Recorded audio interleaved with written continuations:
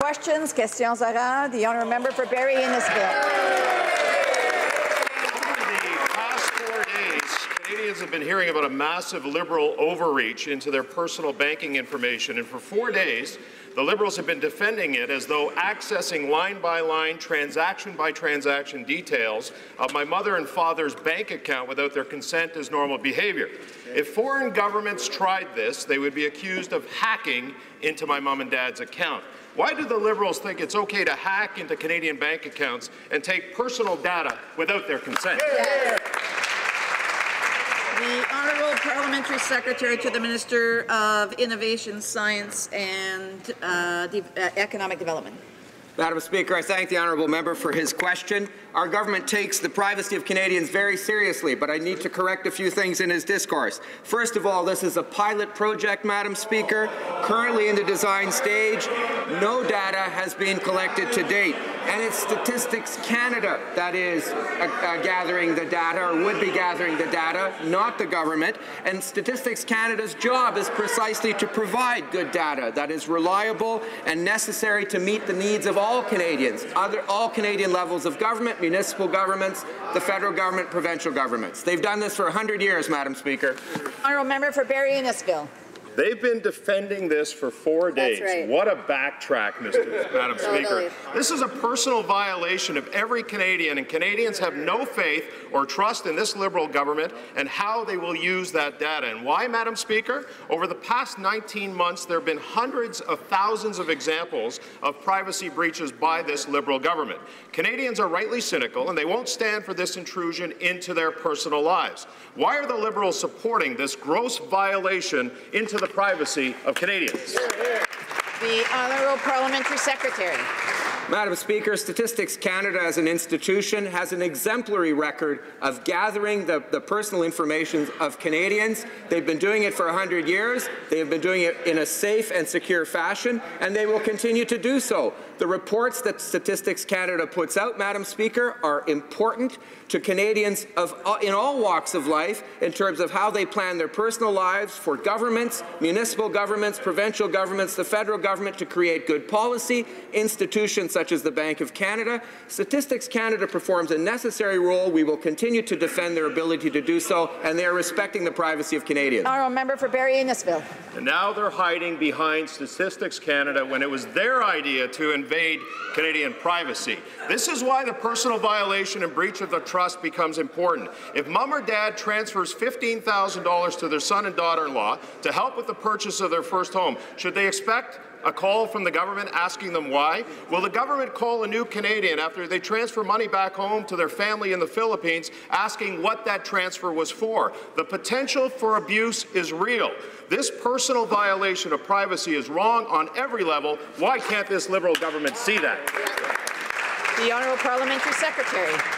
Mr. Speaker, no government and no Canadian will have access to the personal information of Canadians. It will end with Statistics Canada, who will keep it in a secure fashion. What, what governments do get, what other institutions will get, what other Canadians will get, are Statistics Canada reports, which are relied on by Canadians, by members of parliament, by other governments across Canada, and have been for 100 years. Statistics Canada has worked with the Privacy Commissioner on this pilot project from the get-go. It will continue to do so, Madam Speaker, in respect to the privacy of Canadians.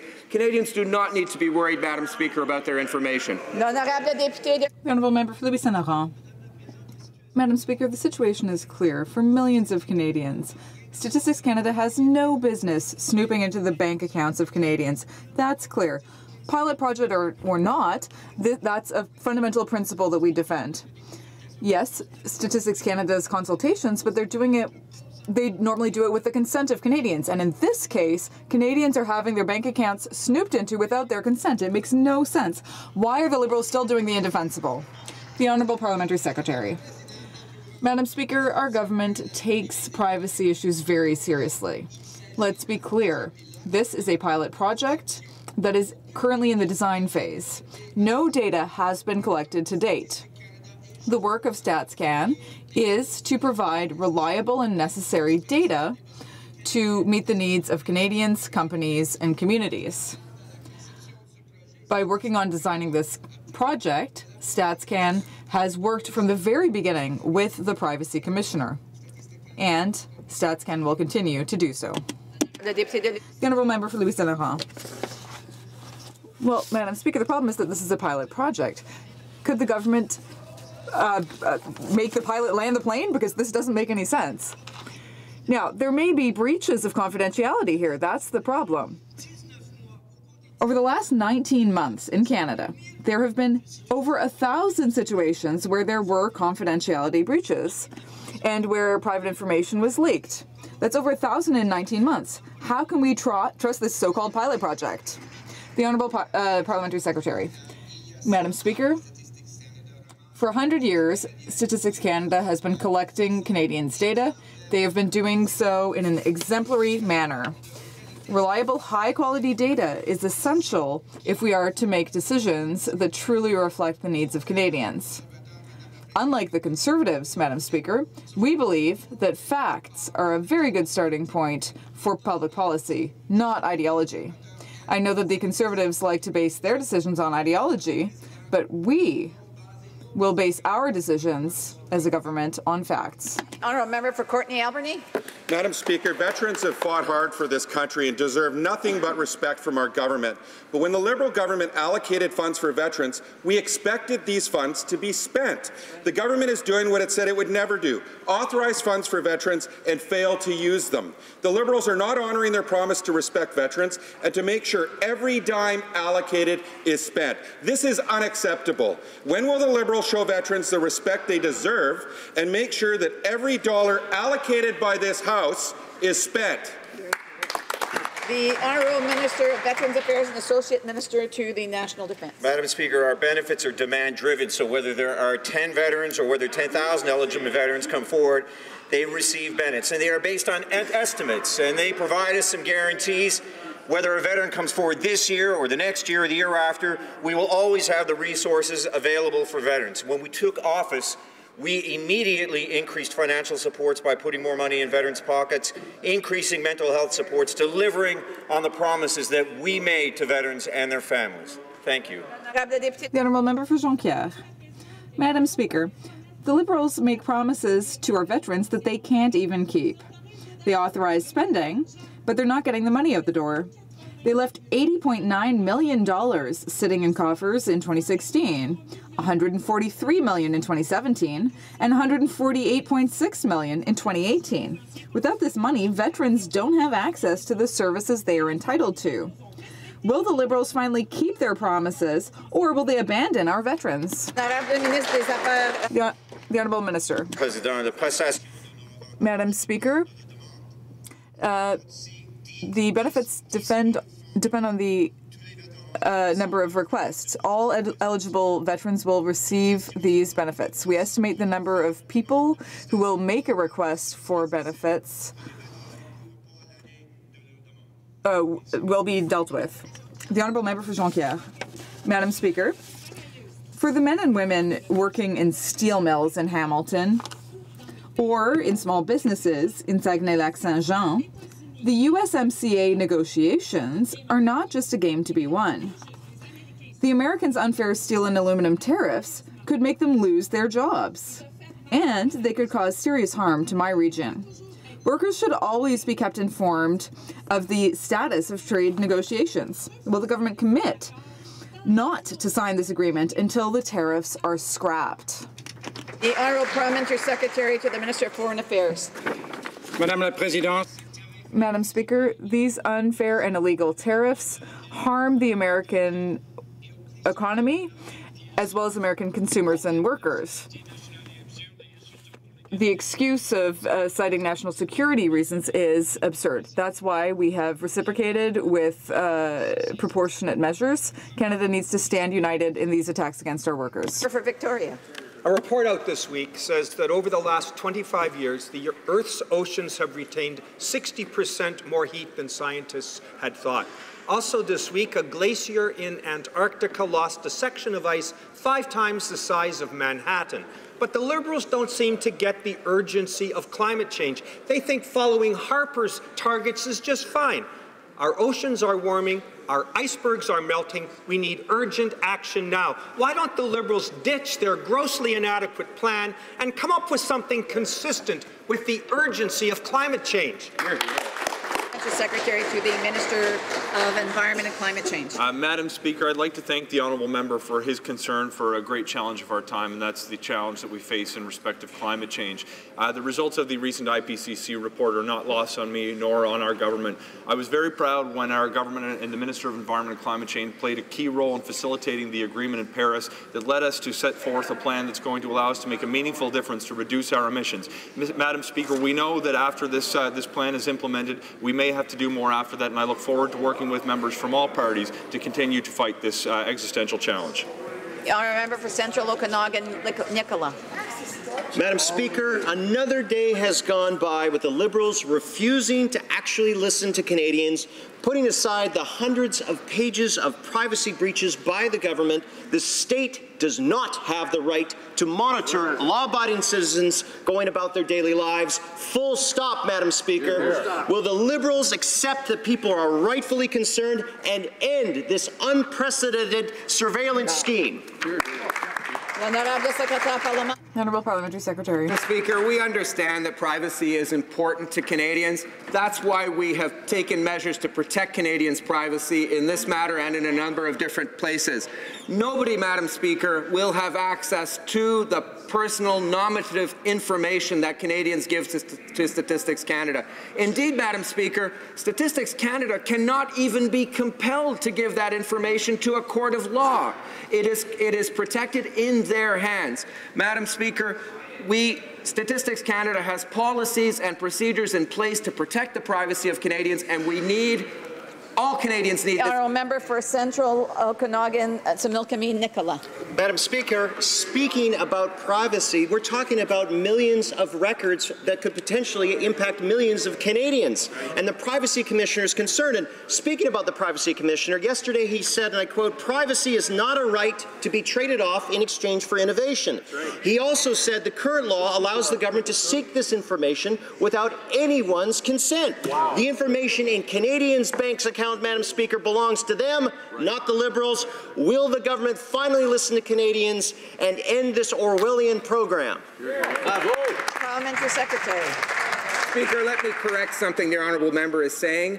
The government is not accessing the nominative data of Canadians. Statistics Canada is for all Canadians to be able to use. The personal information gets protected.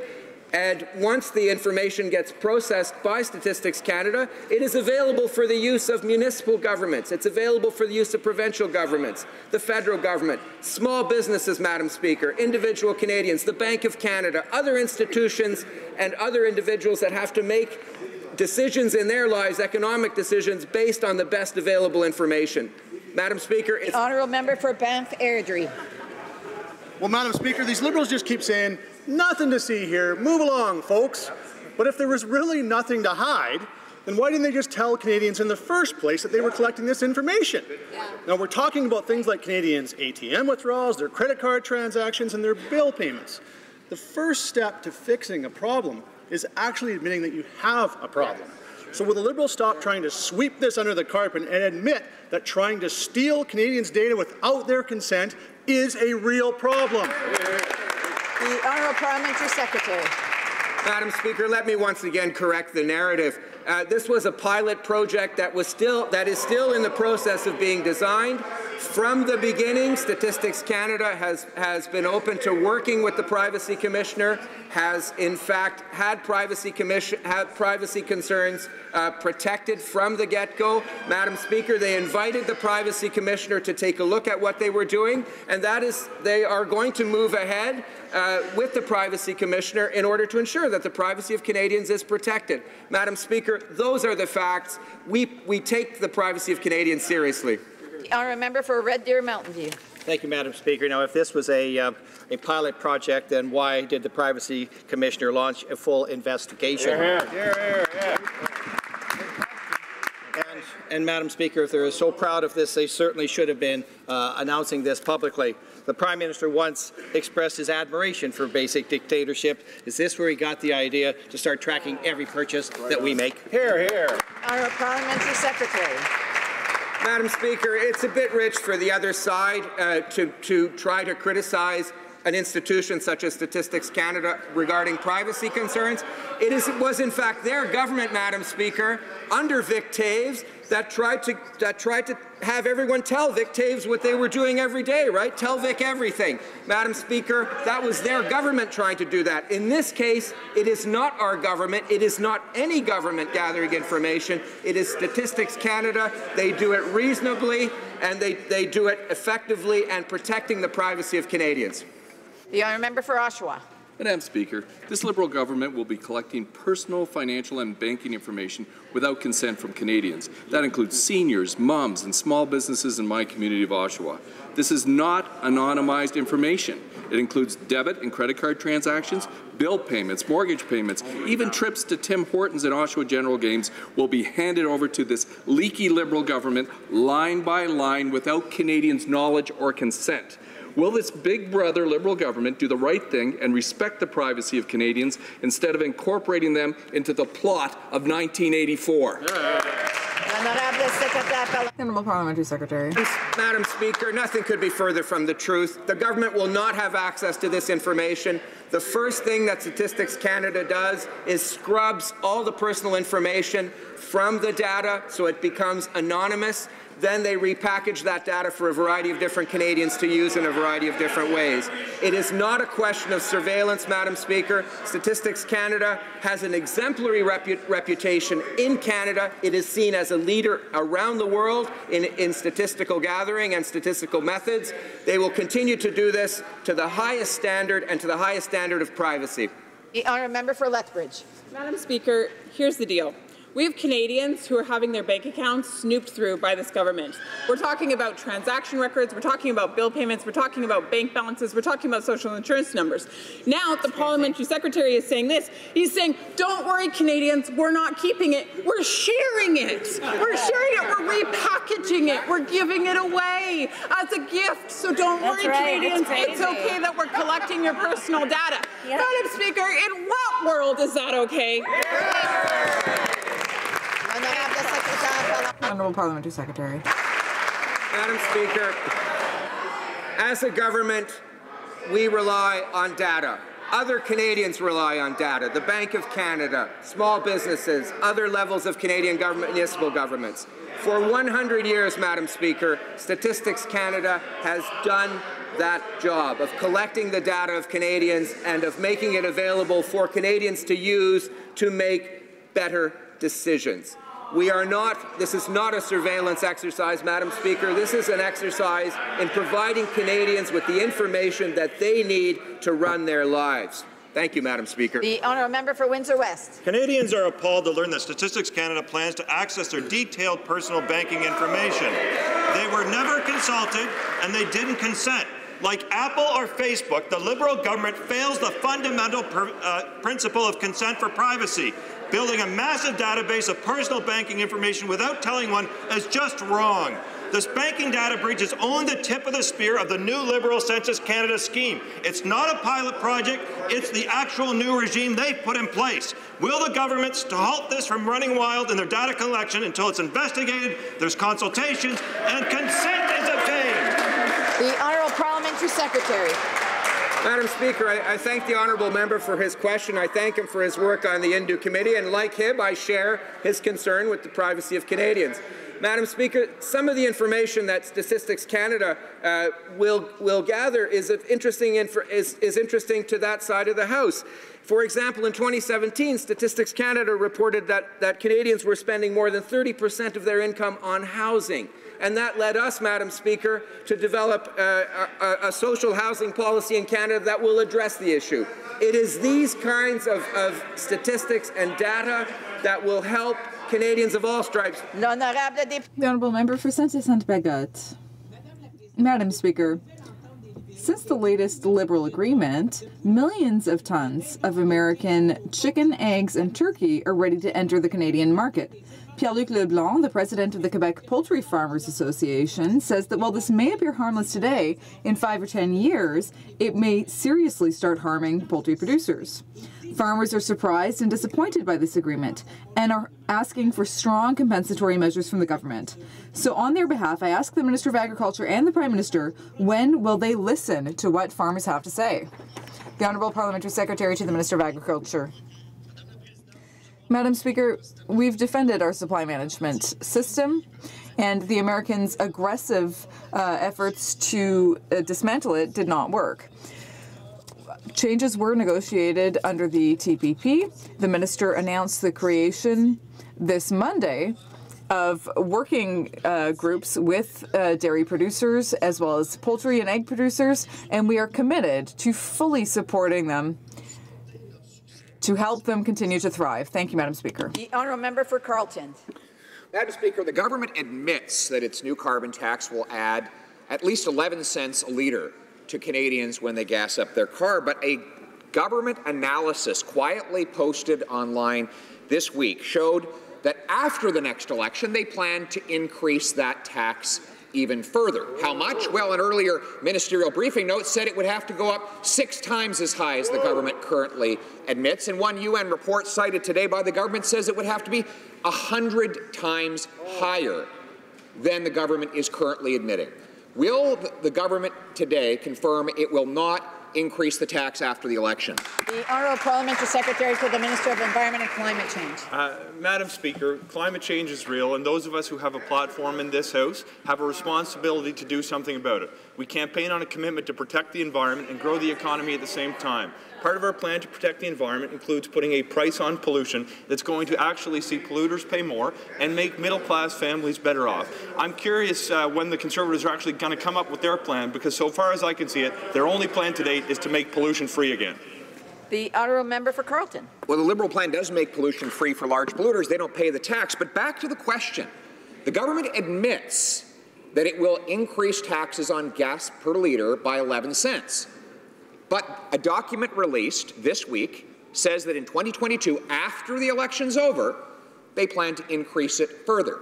One ministerial briefing note says that would have to go up six times what the government promises. That's 60 cents a litre. A UN report cited by the government says it would have to go up 100 times more than the government admits, $10 a litre in new taxes. Will the government confirm whether it will increase the tax further. The honourable uh, member, uh, parliamentary secretary, minister of the environment and climate Madam change. Speaker, again, we were elected on a commitment to protect the environment and uh, grow the economy at the same time. We've been transparent with our plan to put a price on pollution that will increase over time by 2022 to being $50 a ton.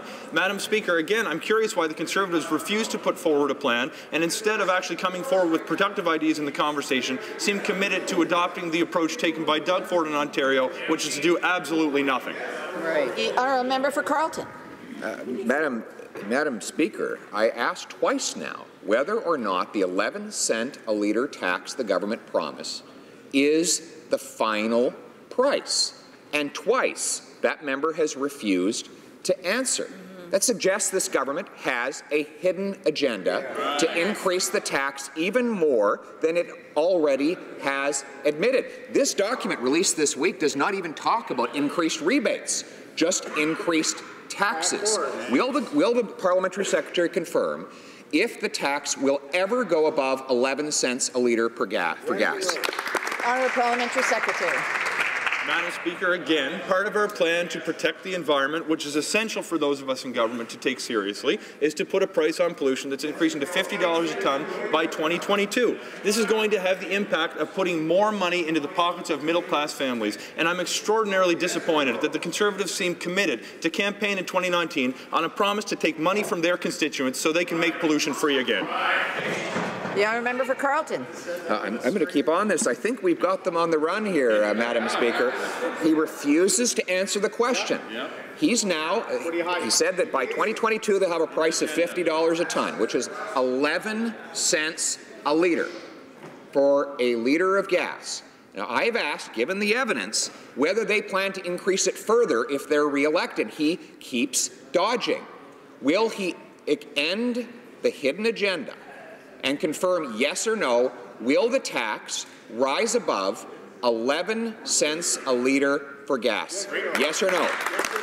The Honourable Parliamentary Secretary. Madam Speaker, again, we have to take protecting the environment seriously. The only plan we put in place is the one we've been telling Canadians about for a, a, significant period of time now, which is to have the price on pollution that we've laid out in public leading up to 2022. Madam Speaker, I'd like to take this opportunity to reiterate that all the revenues generated from this are going back to the citizens who live in the provinces where it's collected, and it's going to have more money put into the pockets of middle-class families. One final time, Madam Speaker, I'm pleased to, uh, to share that I'm disappointed disappointed in the Conservatives that they seem committed to campaigning on a promise to take that money from their constituents to make pollution free again. The honourable member for Saskatoon West. Madam Speaker, Canada's post-targeting of vulnerable postal workers is shameful. First, they cut off short-term disability payments, then long-term disability payments. Then they went after people's maternity leave benefits.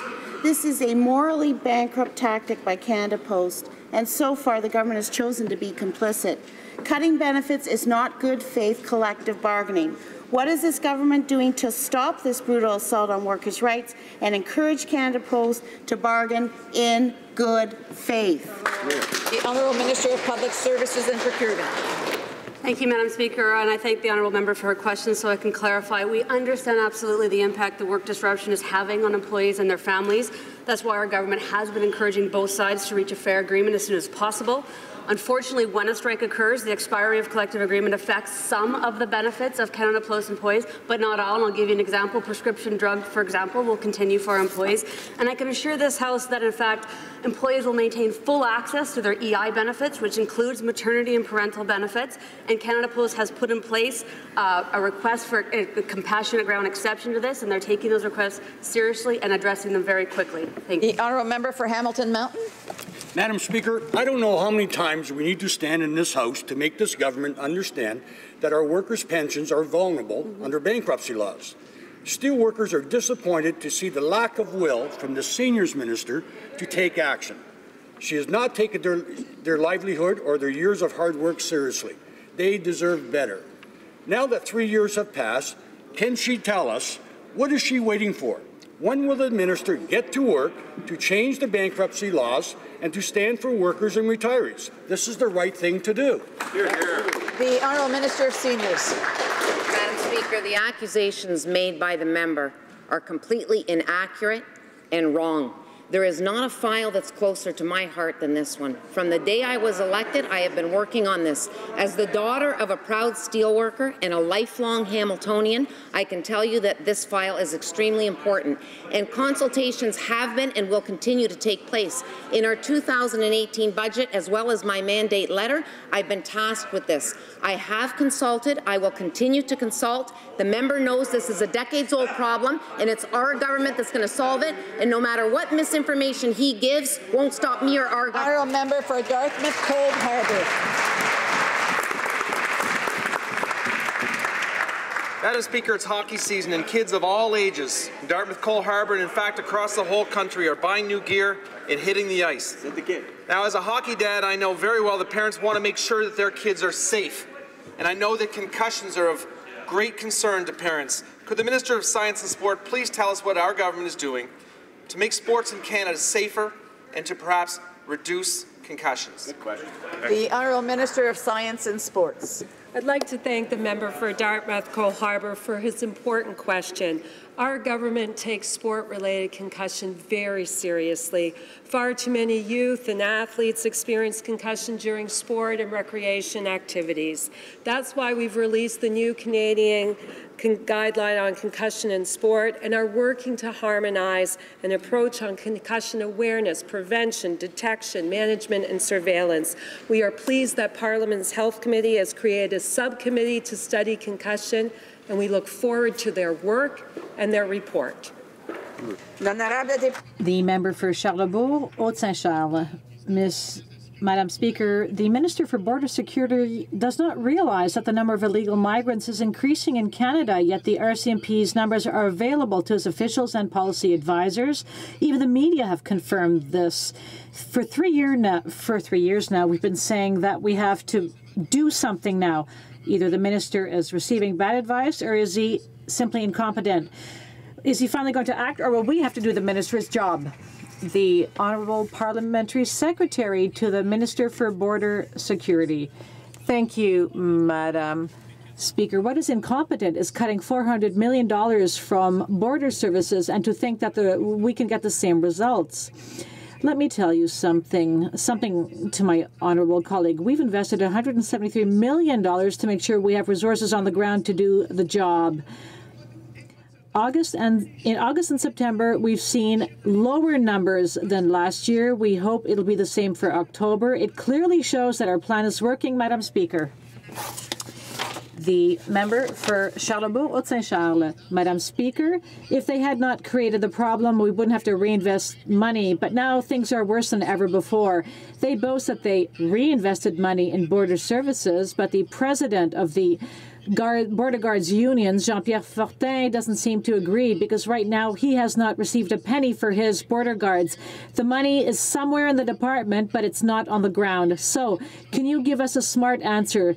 Tell us, um, stop telling us we're wrong. Where's the money? The Parliamentary Secretary. Thank you, Madam Speaker. These are the facts. We have invested $173 million to better manage the situation. Over 7 million of that money is in place to make sure that asylum seekers whose application has been rejected will be uh, deported.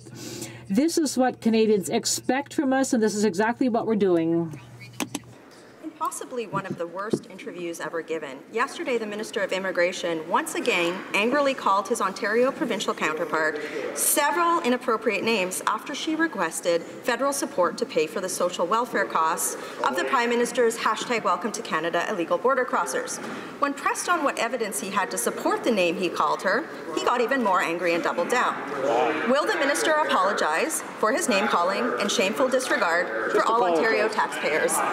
The Honourable Minister of Immigration, Refugee and Mr. Citizenship. Speaker, our government has uh, been going around the country to talk to Canadians about how much immigration matters to them in their local communities. We know that Canadians have been asking for uh, immigration to be an important tool to address uh, labor market shortages as well as bring much needed skills. I know that after three years in opposition, my honourable colleague has finally discovered the importance of talking to Canadians about uh, immigration.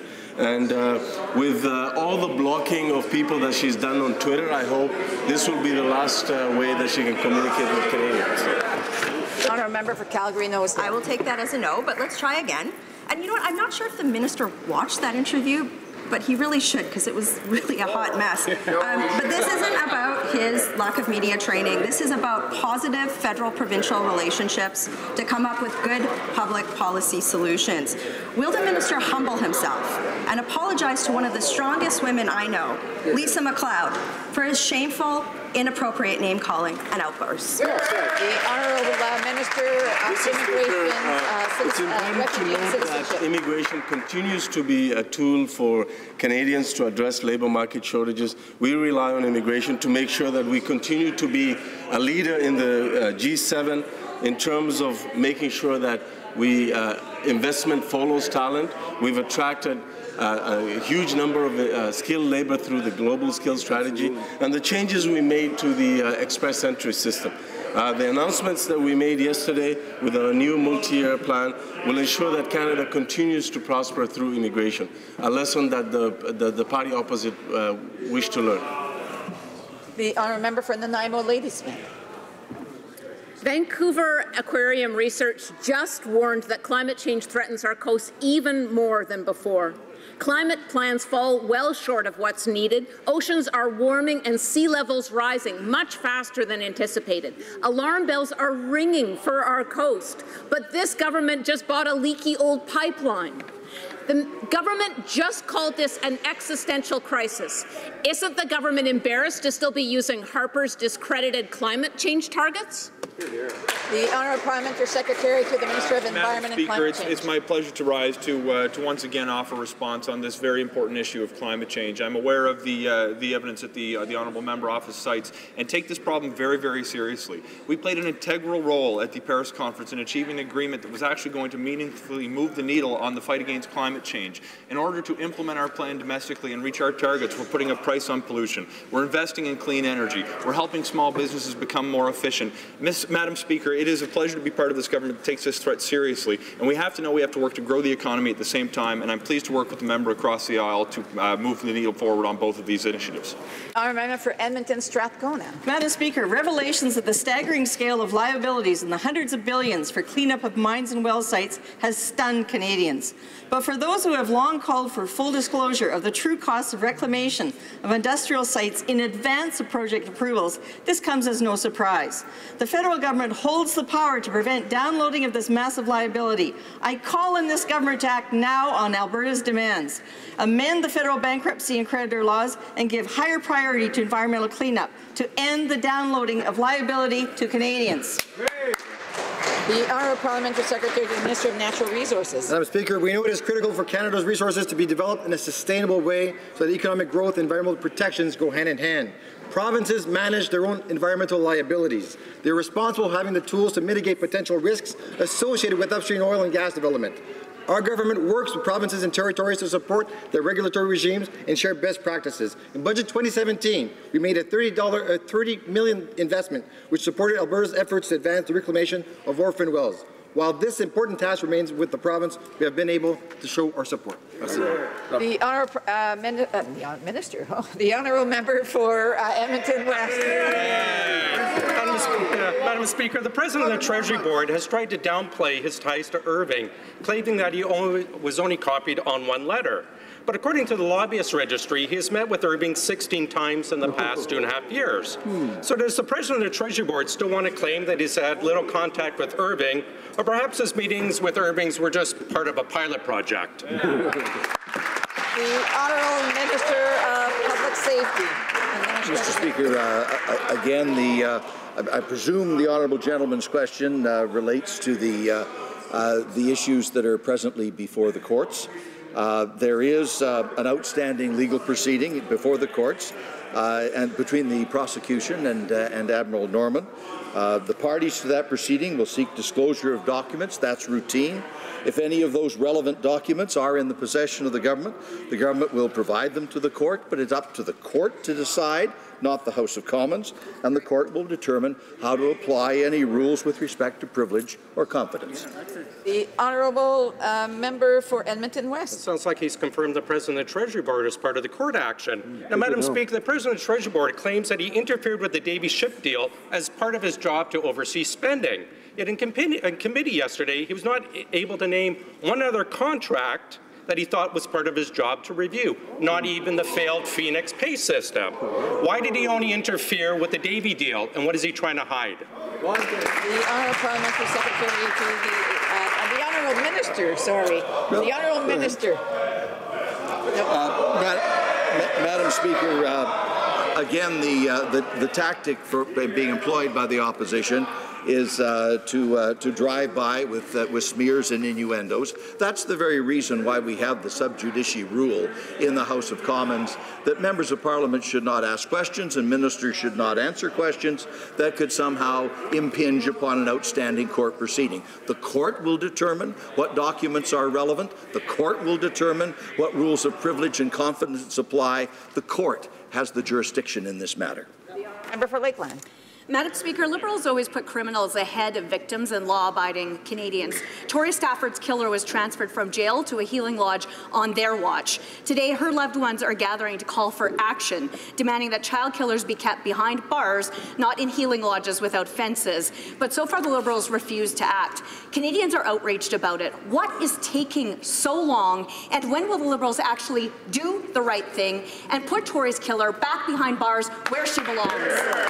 The Honourable uh, Minister of Public Safety Mr. and Speaker, uh, Madam Speaker, uh, all members of this House would share the deep angst of the families who have tragically lost children to crime. And that's why I, I asked for a thorough review by the Corrections Commissioner to ensure long-standing policy in these matters has been followed and to reassess the appropriateness of, uh, of those policies to determine uh, that they are, in fact, the, uh, the right ones. Uh, the report was uh, made available uh, late yesterday, Madam Speaker. I'm reviewing it at the moment. we all want this system to be as good as it can possibly be for the protection of the public. Member for Vimy. Madame la the member for Vimy. Madam Speaker, yesterday, the Minister for Employment, Workforce Development and Labour announced amendments to the Canada Labour Code. We all heard about what happened to the Sears workers, and in my writing, these workers were affected as well middle class Canadians felt hard done by by conservative policies which only benefited the most well off. Can the parliamentary sector uh, parliamentary secretary inform this house what this government is doing for the middle class families in my riding? The Minister of Employment, Workforce Development and Labour.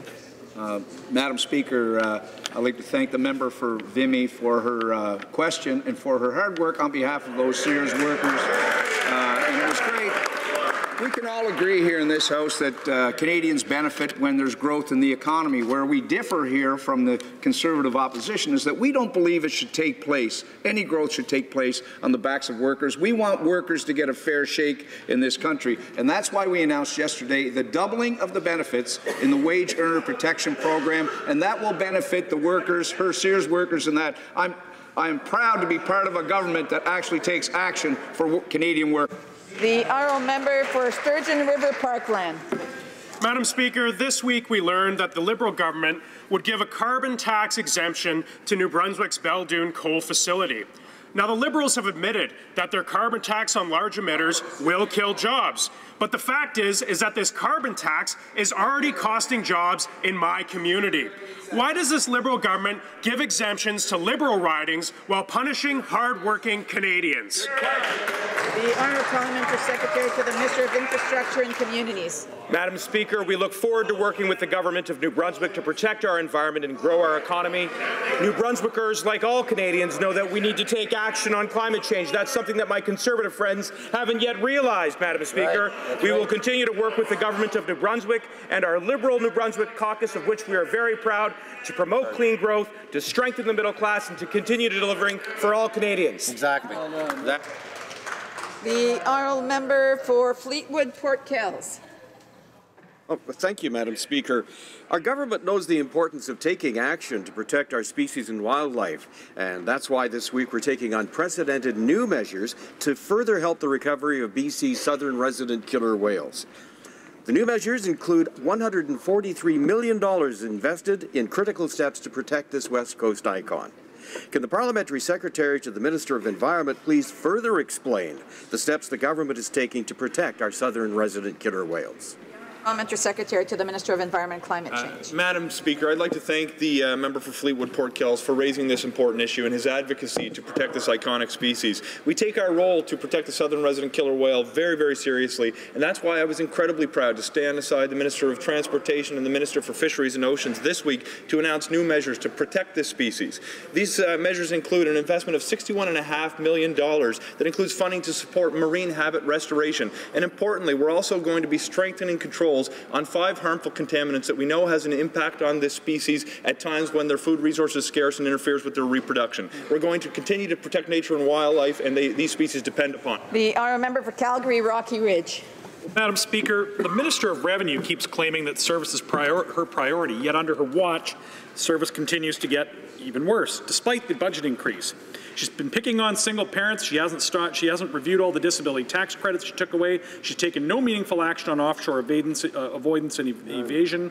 Wait times are getting longer, and the call center is still a disaster. So will this minister stop claiming that service is her priority and start delivering service to Canadians? The Honourable Minister of Canadian Revenue. Madam Speaker, my colleague across is talking about is comparing apples with oranges. Uh, the fight against tax evasion, especially tax evasion abroad, is a priority for us, as well as providing good service to Canadians. They have no lessons to give us on this side of the House. They cut funding for Revenue Canada, and we are working to fix the problems. People will receive the benefits they are entitled to. The honourable member for Joliette. Big news. Yesterday, the government announced that the Davie shipyard would not be building any ships and would only receive in 2021 a maintenance contract worth less than 2% of the shipbuilding strategy. Irving and Seaspan are experiencing delay after delay, and the Asterix is the only ship which has been delivered to the government. Davie, the best shipbuilder in America, delivered on time and on budget. Yesterday, despite the success of the Asterix, the government is dragging its feet on awarding it the Obelix, whereas the wealthy Irvings are being given risk-free guarantees. Can the minister tell us why he is undermining the Davie shipyard? The honourable member for uh, Public Service and Procurement. Thank you, Madam Speaker. We recognize the excellent work carried out by the Davie Shipyard. Yesterday, we awarded a $7 billion contract to all three shipyards, including the Davie Shipyard. They also received significant funding to build icebreakers. We are still working with Davie, and uh, at this point here, the minister decided he doesn't need a second operational vessel, so we are continuing to work for all Canadians in shipbuilding. The honourable member for Joliette. We're still talking about only 2% of the contract. This week, we learned that when governors general ended their well-paid mandates, eating hors d'oeuvre at taxpayer expense. Well, after their mandate, they still get their office expenses paid for life. Adrienne Clarkson alone is costing us over $100,000 a year, even 10 years after her retirement. Will the government disclose all of the details of the paid-back expenses of every single governor general, including those of Michaëlle Jean, whose shenanigans we've heard about too? Minister of Fisheries, Oceans, and the Canadian Coast Guard. Madam Speaker, Canadians can be proud to be represented by governors general as inspiring and dynamic. They are providing great service to Canadians, and that's why they benefit from support in the years following the end of their mandate. It is clear that Canadians expect transparency and accountability when public funds are spent. We are going to take a close look at this file and we will ensure that best practices are followed. And in order to meet the expectations of Canadians, the honourable member for Mirabel. Madam Speaker, we know that a Governor General does does not serve much purpose. So why should taxpayers pay for them? But it's beyond the pale that their office expenses are paid for the rest of their lives. And these aristocrats don't even have to justify the expenses. The Prime Minister said he expects greater transparency. So, will he open the books instead of opening his pocketbook to these parasites? Madam Speaker, as I've just said, we are very proud of our governors general who represent our country. We are in the process of reviewing the policy on expenses to ensure a level of transparency which uh, Canadians expect. Thank you, Madam Speaker. Saanich Gulf Islands. Madam Speaker and friends, a month from today, the climate negotiations will begin in Poland at COP24. The agenda will be the IPCC report on 1.5 degrees and a review of every government's actions and whether we're on track. We know that some countries have done a huge amount, but collectively we're off course. We are headed for the risk of global extinction. This is not a joke. We are running out of time. We have one chance, one chance only. Can Canada show leadership and go accepting the target 45 degrees by 2030, or do we give up on our children? The Honourable Parliamentary Secretary to the Minister of Environment uh, and Madam Climate Speaker, Change. I'd like to thank the Honourable Member from Saanich Gulf Islands for her question today and for her work on this file over the past number of decades. Uh, this is a threat that we need to take extraordinarily seriously, and I've read through the IPCC report and know that we need to take action and take action immediately. Madam Speaker, we campaigned on a commitment to protect the environment that included putting a price on pollution and a number of other measures. We played a key role in facilitating the agreement of Paris, and our government is committed to making our targets. If we need to do more after that, Madam Speaker, I'd be pleased to continue to work with the honourable member to protect our environment for our kids and grandkids.